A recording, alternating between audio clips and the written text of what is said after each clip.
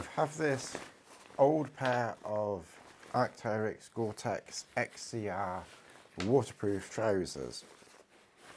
And they have a built-in gaiter type thing down the bottom. And all of the other bonding there seems okay. But unfortunately the bonding along there on both legs and there has gone. I did test this one earlier on a few days ago just to really make sure that it would work. The rest of the trousers seems to be in, in very, very good condition and that then just gets that nice and tight along there. So I think, like I said, I've never done this before. I'm not, I'm your Frank Spencer when it comes to repairing things. Oh, the little one wants that. There you go. Go there. And we'll just run a line along the seam. Now, maybe, maybe, maybe we might actually get this to work. It would be a quite minor miracle if it actually did. But they're a nice pair of trousers. I don't know how long I've had these. I don't know when Gore-Tex stopped doing XCR. Must have been a while ago. There's a tiny bit of spillage along the top, but not much. We've actually done quite a decent job there. Mind you, it wasn't that difficult, was it really? I'm just going to put just a dab under that.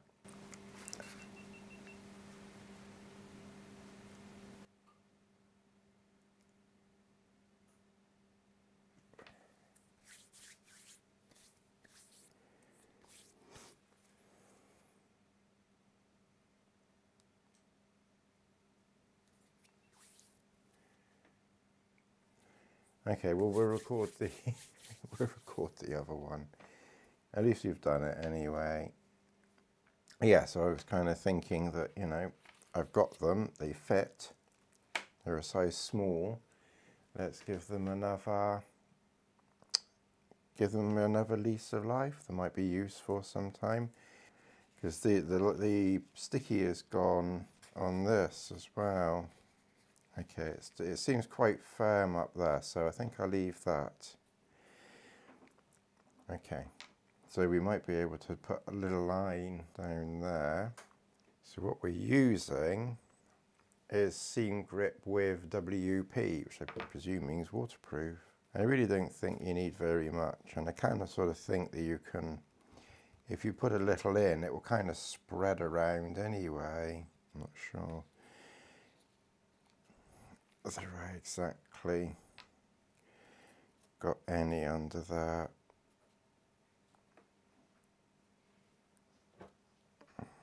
Probably did.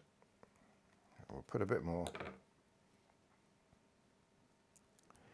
Like I said, I'm all your I'm all your Frank Spencer when it comes to this type of repair. We will let that dry. Right, as always happens with me, I recorded and then I realized that I'd probably not set uh, this camera here up.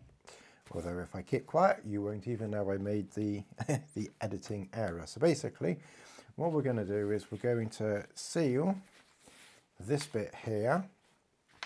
We've already done this bit here, and we've already done this bit here.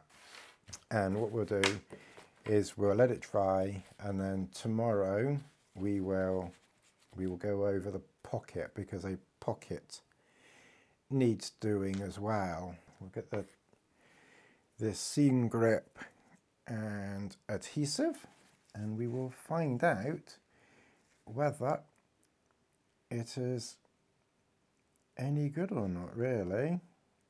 and basically we're just going to run a line just along the original where the bonding has failed. I did put a request into Arc'teryx mm, several years ago when the bonding failed on another one of my on a jacket and I, and they they didn't do anything so I did I did email them and I give them the due they did say send photographs and everything but I had difficulty sending the pictures so in the end I thought oh well they're probably not going to do it anyway so we may as well we, may as well just do it ourselves. I doubt they're going to watch my video. If they do and they want to send me another pair of trousers, then obviously I won't say no, but I don't think they'll do that. So we will repair these. Okay, uh, I'm not going to put the books on the top because I, I did try that when I did the other side and the only thing I managed to achieve was to almost stick the book.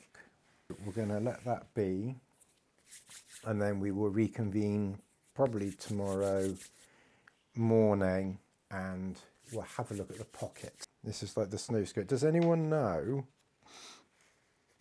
what you put through what you put through there to hold this down under your boot? Is there anything specific that people use on these? Because like I said, I've, I've got these and I've never really, I've never really used them very much. Okay, so what we're going to try and do here is repair the pocket. I've already done the top one just to make sure that it works. So we're now going to do this side and we will I think we can, we can also try and do the bottom as there. So you can see the bonding along there has failed. So it's strange that all the other bonding, thank well, thankfully, because if it had all failed, we'd be it just be, would be too much to do it all. But um, it's just interesting that you know most of the seam bonding has failed, and yet this stuff sorry, has, has not failed. And so we're going to rin a wee, a wee wee line down there. Just be sure to get some, obviously I'm just doing this to show you what I'm doing. I'm not recommending this because I, you know, I'm just, just in case it doesn't work. So run, run it that way and that gets the, the glue up into that corner and the same there, run it that way so you, you get the glue down there and then hopefully, I mean obviously it's not going to be as breathable because we're putting glue on it and probably what they do is is probably more breathable, but I mean, you know, we're talking about millimeters here. Because we're already here and we're doing it, we may as well do this last seam along there, because like I said, I've done the top one. And then I think just leave it for 24 hours. Like I said, I don't know if this is how you're supposed to do it or not, but we will see. Just run it along there. And then that little bit of excess and just I don't go in for all this health and safety stuff that you can't get it on your fingers.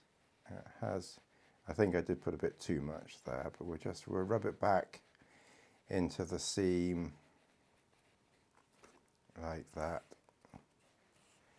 And it's only that little patch that's now not going to be breathable, but like I said, you know, you're looking at one centimetre.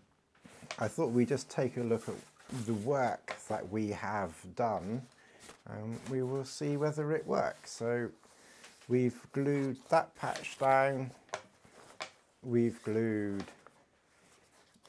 that down there. So we've done a thing there. Hopefully it, it stays and we've glued and we've glued this bit down here. So the, I think the idea is, is that you can pull the leg, pull, pull your leg, pull this bit around your boot and that's got bungee on it which is already there. So we've done that one. I'm amazed how, I'm amazed how grubby that is to be honest, given, as I say, God, look, I don't think I've hardly worn them, so I don't know how they're quite so dirty, but anyway. And then obviously we've done this one here, so we've glued that one down there, and then we've glued that patch there back in place, and obviously we've glued that down. And we have glued the pocket. So that's the pocket there. That's the pocket. It's quite a small, it's not a very big pocket, but you could get a get a hanky in there or something. We will see how well it, it lasts. You can see how long I've had these, so you know, so small Gore-Tex XCR. So, ooh, they're quite cozy, aren't they? I definitely need to lose a bit more weight. They do up, just. That's the pocket that we've repaired.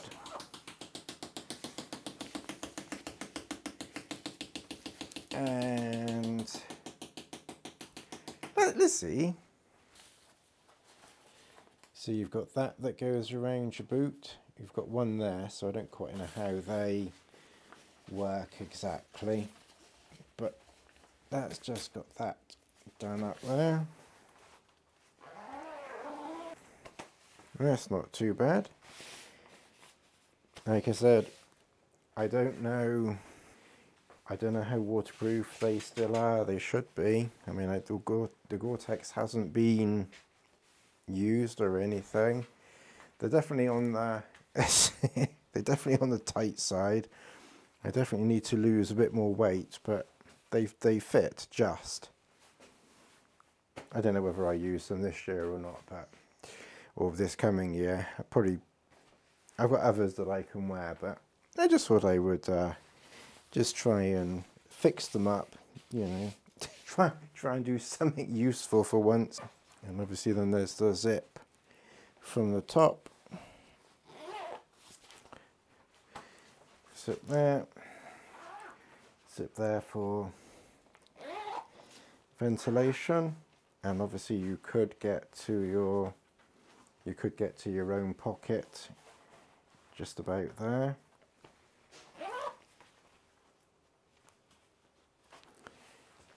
So yeah, we'll keep we'll keep trying to lose a bit more around the middle. anyway, I hope you enjoyed this funny little video with repairing something or attempting to repair something.